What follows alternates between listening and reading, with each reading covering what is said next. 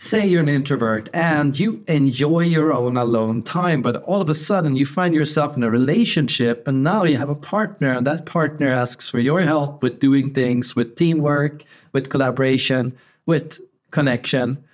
You, as an introvert, might sometimes feel a need to withdraw and a need to be alone and a need to do things on your own. So, how do you make peace with your independence as an introvert? And how do you learn to collaborate with and connect with another person? It's not that you don't want to have a partner, right? The introvert, otherwise, you wouldn't have even ended up in this relationship to begin with, right? But still, it's difficult to overcome and to manage through your own personal needs when you are two people in a relationship, right? So, let's talk about what you can do to feel more safe and more connected to other people and how you can manage these kind of things, right? So, first thing you want to recognize is that that often the independence that you experience as an introvert and the level of self-trust and self-assuredness the tendency to believe that you can take care of yourself, you can manage your own needs, you can provide for yourself, you can cook for yourself, you can give yourself what you want that feeling can make other people around you feel as if they are useless in your life, right? So the more you move towards independence, the more you move towards making other people around you feel like they are useless to you in a sense that they can't help you, they can't answer your questions, they can give you advice, they can't talk to you, they can't tell you or how to think or how to feel or what to do.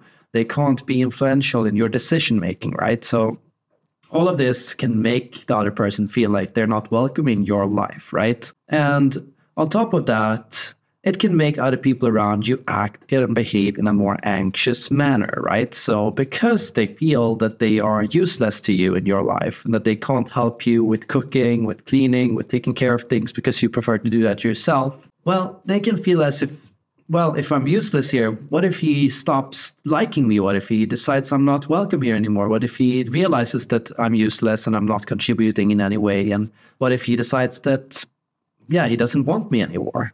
And all of this can lead to a person around you becoming more clingy in the sense that they become more eager to try to prove themselves, more eager to help, more eager to connect with you, more eager to break through your shell or open, get you to open up or get you to talk or get you to listen or get you to hear them, you know. And this can make you even more want to withdraw in a sense that it makes you even more likely to feel like, oh, I don't, I feel stressed out, I feel overwhelmed. They're asking too much of me, they're demanding too much, you know, they're uh, trying to intrude my space all the time, you know, like, and I don't feel safe, you know, and it, this is the cycle that you can find yourself in, right? So, what do you do to overcome this? Well, before we get into that, what's worse is that often introverts tend to have a very idealized desire for what the partner should be like, right? Because you're so independent and self satisfied, and because you have managed to provide for yourself and uh, create a nice atmosphere for yourself and because you're comfortable in your own skin and by yourself, you might have a stronger ideal for what another person, what being in a relationship should be like. Perhaps also because you haven't been in a lot of relationships, perhaps. You've often avoided people, so you don't really know what people are like and how to manage around people and what to deal, how to deal with people's mood swings and energies and vibes and all those things, right? So you might have a very idealized image of what your ideal partner should look like in the sense that you think that it should be constantly very harmonious, peaceful, you know, they should be perfect in every regard, you know, they should be, you know, this wonderful person that will come into your life and they will provide everything that you need and they will be absolutely wonderful all the time, right? So you'll have this kind of idea in your head, right? And often it can feel as if you're constantly putting this above the person you're in a relationship with. So you have this ideal in your head of how the person should be. Uh, and then you have them, you know, as a human being who is not perfect and who is not all those things. And of course, it can feel as if um, all those expectations are hanging in your head, right? So they are aware of this. They are, they're aware of this is what you really want, and I'm not what I, you want. I, this is what you really want. This is the ideal that you are looking for. And so often, uh, when an introvert feels that uh, other people are intruding into their lives and into their space and coming into their world, it can be this feeling like, you know, if they should be allowed in, they should be really, really special. They have to be really, really perfect. They have to be really, really wonderful people. And if they ever say or do something that is not a part of this ideal, well, it's very easy to put up your defensive walls and to be like, you know, uh, maybe this was not right. Maybe this was not the person I wanted to be with. Maybe this wasn't, you know, the kind of relationship I was looking for. So here it's especially important that you recognize these kinds of idealizations and these kind of fantasies and how they might make it difficult for you to experience and appreciate what is in front of you, right? But ultimately, building up the ability to have healthy communication and connection in relationships is more than possible and it's something anyone can develop and learn if they put in the time and energy into it. And really, what it's all about is you have to build and invest skill points into your teamwork personality tree.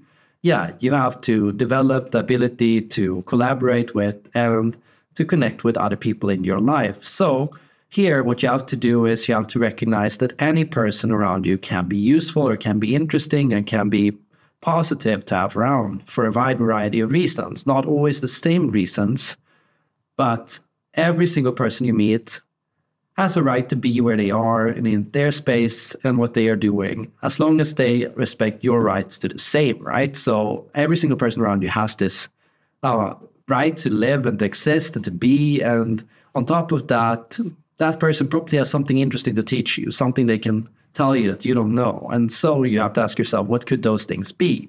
What could I learn from other people? What could other people add to my life? How could other people contribute to me?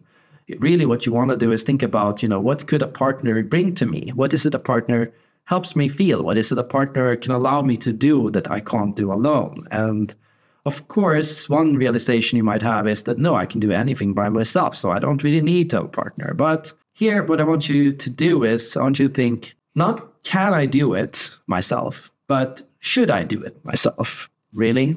What you want to do is you want to think about what things that I do for myself would I appreciate if somebody else started picking up and doing for me?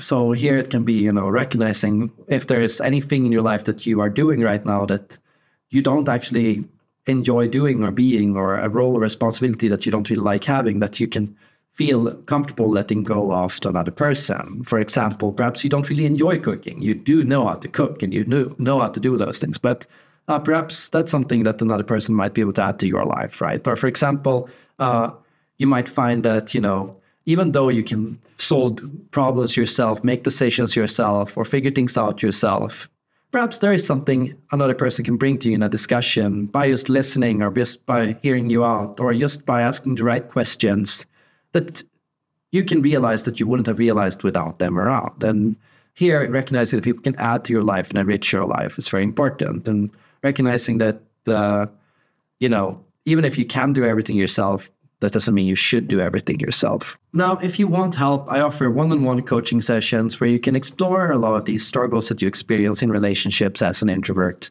And I customize my coaching to your personal report, your own personality, who you are, and what you think and what you value. So that allows me to give me you very in depth feedback and advice based on modern psychology and modern thinkers. On top of that, if you have any advice for the people listening, feel free to leave them in the comments down below. How have you worked through these kinds of issues and how have you learned to, what, what is something you've learned to appreciate about other people, what other people bring you that adds to your life and your happiness? Step one is really recognizing that other people can add to your life and can enrich your life. And step two is learning to be comfortable opening up and letting other people in in other areas where you can allow them in right? Think of if there's any situation or place where you are comfortable letting other people step up.